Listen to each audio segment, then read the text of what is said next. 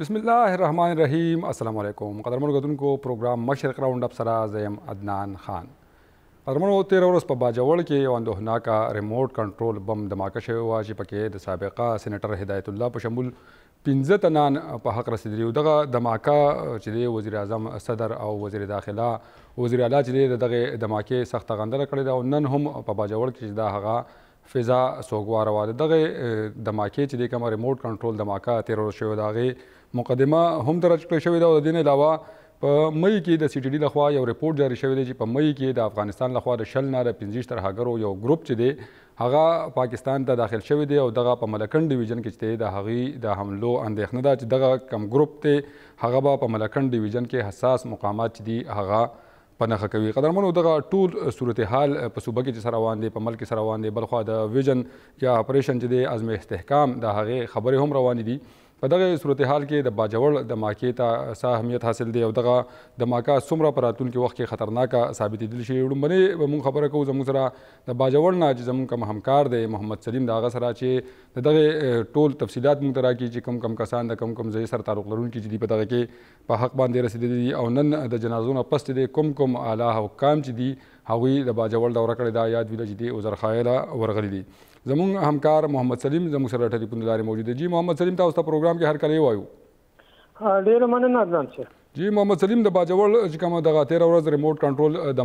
دماکه شوی ده د هغی په حواله باندی تفصیلات راکړی پرون تقریبا پنځه بجی چی دی دغه دماکه شوی ده په دی کی سینیټر صیب سابقه چی کوم سینیټر دی او پنځه تنان نور په حق باندی رسیدلی دی. جی بالکل عدنان صاحب دا زمونږه بدقسمتي ویلې شي چې دا په باجوړ کې مخکې هم دا کم الیکشن چې په هغه کې ریحانزیب چې کوم ټارګټ ټارګټ کړی شلو او دا غو الیکشن هغه ټوله مزه ختم کړل او الیکشن چې کوم دی په دغه حلقه باندې ملتوي شو د دغه نرسو بیا د دغه پر پی کې به دویشتم باندې دا کوم ټاکنې چې دي په یولسم جولای باندې نو یو ځل بیا دغه واقعیت رااله او کوم سېنیټر دی سېنیټر هدایت الله خان چې یو ځل نه بلکې دا دوه ځل سېنیټر پاتې شو او بل دا د سابقه گورنر انجنیر شوکت الله خان رور هم دی د دغه په دغه الیکشن کې د دوی کوم وراره دی نجیب الله خان چې د انجنیر شوکت الله خان زوی دی هغه هم په دغه ټاکنو کې امیدوار دی هغه ولر دی نو د دغه د کمپاین لپاره د سېنیټر هدایت الله خان دغه سیمه ته چې کوم دی دغه بدقسمت سیمه چې وته ویل شو ځکه چې په تحصیل معمول کې کومنګ وو نو زیاتره کم ټارګټ کېلینګ کېږي یا دماکی کېږي نو دغه سیمه کې زیات اطلاعات راځي نو دغه ته د کمپین د پاره تلو او د مډوله کوم اسیمه ده هغه ځکه هغه خپل کوم ملاقاتونو هغه کړی او په واپسې کې چې کله راتللو نو هغه غاړي ته ریموټ کنټرول د ماکه په هغه په غاړي شو خو دا د ماکه دونه انتهایی زوردار و چې دغه غاړي چې کوم دی په مکمل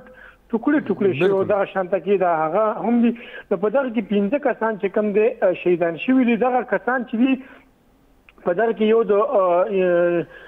شهید سېنیټر هدایت الله خان ترورزی دی چې عرفان نامې ده ملک عرفان چې هغه پنځه خويندې یو یو ورور او دغه پلار هم لکه موده مخکې وفات شوی نو ټول چې کوم دی د کور ویل شو چې دغه کفیل او دغه د د دغه نور څه داسې نورونه هم نشته دی یو کس و دغه شانته کې د هغه سره یو سپاهي هم و زیرودین نومې و دغه شانته کې د هغه سره بل یو ملګری چې کوم دی هغه هم دغه شوی دی یو سهیل رحیم نوم دی محمد سلیم دا تیر ورځ کوم چاودنه شوې ده دا هم یو ځل بیا د الیکشن د ملتوي کولو سازش تاسو ته په نظر راځي څه تفصيلات دي په دې حواله باندې چې دغه د انتخاباتو لوجه دغه د ماکه شوې دی یو ځل بیا ځکه چې د وړاندې څنګه تاسو خبرو کړه چې مبارک زیب چې دی هغه شهید شوی او هغه هم د انتخاباتو لپاره چې دی هغه روانو انتخابي کمپاین چې دی هغه چلولو بالکل عدنان صاحب هم دغه شانته کې دغه روان دی دین مخکې کزه تاسو ته مت خونزاده چټان چې کوم د ایکس امینه په هغه باندې په دغه سیمه کې چاودنه شوی خو هغه لا بچ کړو او دا د بالکل د الیکشن او د ملتوی دوه هم یو منسوبه کېدل شي او بل دا ده چې ویره ترخه هم په ولس کې پیدا کول کیږي چې یاره دغه کوم الیکشن کوم ټاکنې چې کیږي چې په دغه ورځ باندې خلک وڅرونوځي او د خلکو کې دغه ویره ترخه پیدا شي نو دې دغه دوه درې وجې کېدای شي چې یو د الیکشن ملتوي کېده هم کېدای شي او بل په خلکو کې ویره هم پیدا کوي چېرې خلک یې دغه شان ته چې ووټ پول نه کړي او هغه خلک په دې کې دلچسپي وانه وي نو په دې وخت کې زه وایم چې انتهایي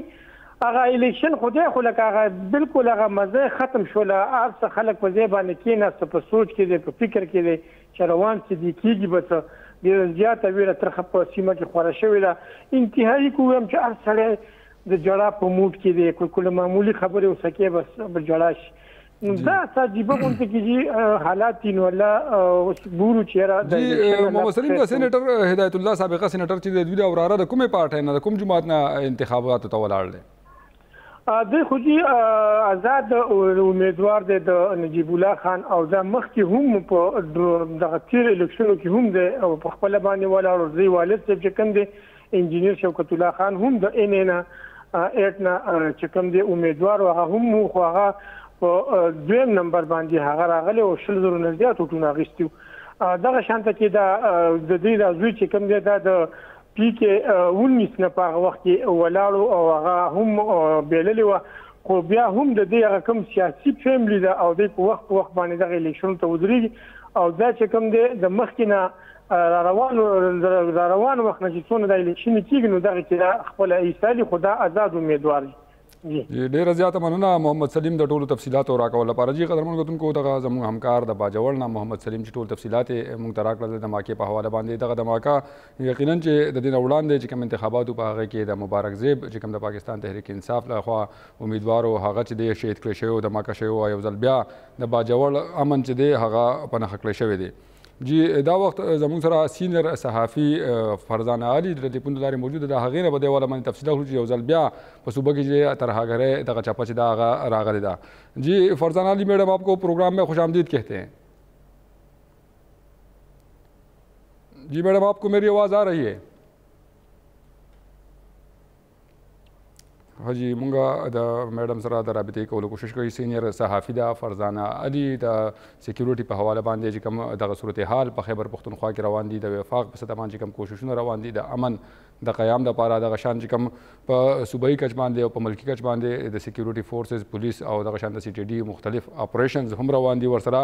دغه چې کوم خبرداري یا الرټ چې دی هغه جاری کړی شوی د سی ټي ډي لخوا چې د افغانستان له خوا د شلو نه پنځه ویشت تنانو ګروپ چې دی هغه په پاکستان کې داخل شوی دی او دغه ګروپ چې دی هغه په ملکنډ ډویژن کې مختلف حساس مقامات چې دي هغه په نښه کولی شي هم په دغه حواله باندې چې نن کوم د سکیورټي صورتحال دی په صوبه کې او ورسره د باجوړ دغه دماکه چې دا د تازه وور بیا چې دی هغه راتازه کړی دی او زخمونه چې کوم د ترهګرۍ نه د دې قوم او د دې صوبې د ولس په زړه باندې جوړو هغه یو ځل بیا تازه کړی دی نه وړاندې د ټولي صوبې د باجوړ ولس چې دی هغوی یو لوی د ترهګرۍ چې دی هغه وخت تیر کړی دی او دغه شان ډیر بوره حالات چې دی خراب حالات چې دی دغه ټولو قومونو باندې تیر شوی دی که د باجوړ اوسیدونکي دي که د مومند اوسیدونکي دي که د سوات دغه شان د قبایلی سیمو کې مشته خلک چې دی هغوی ټولو باندې دغه صورتحال چې دی د ترهګرۍ په وخت کې تیر شوی دی قدرمنو موږ به په دې حواله باندې سینیر همکاران دي سینیر تجزیه کار دي د هغو سره خبرې اترې کوو خو پروګرام کې د وړه شان دمې وخت شوی دی تاسو مشرق ټي وي سره